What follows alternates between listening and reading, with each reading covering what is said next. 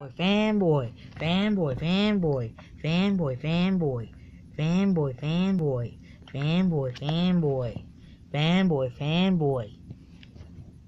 NHL 16 absolutely completely freaking sucks, man.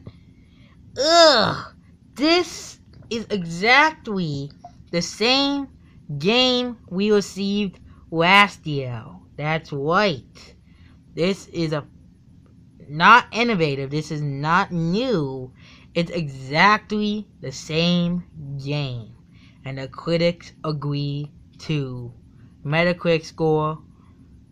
It had a nine. Had, last time I checked, it had a absolutely low score of 77.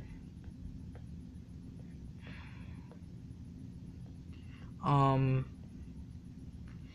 with 77 is an average score, and they and it has a 5.6, a 5.6.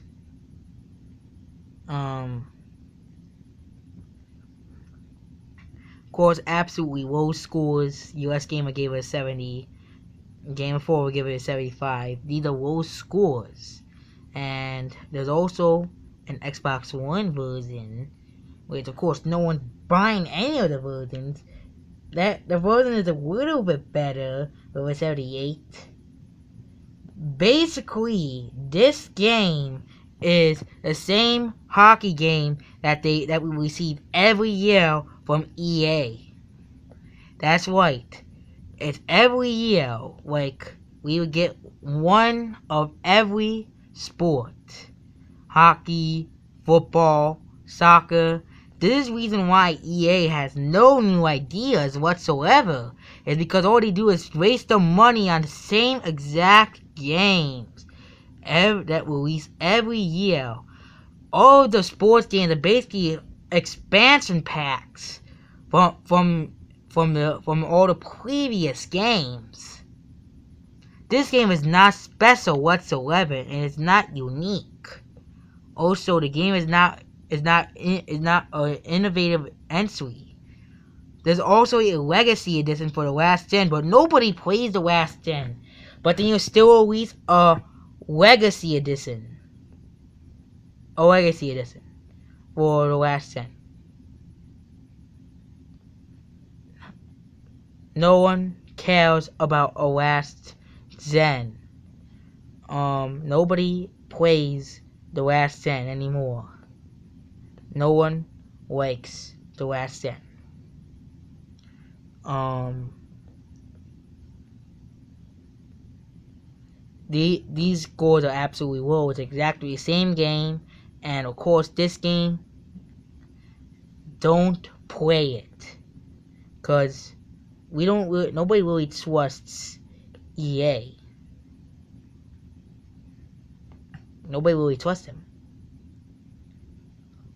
Um.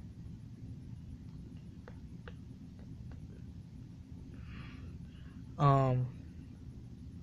It's not new. It's not innovative. Um.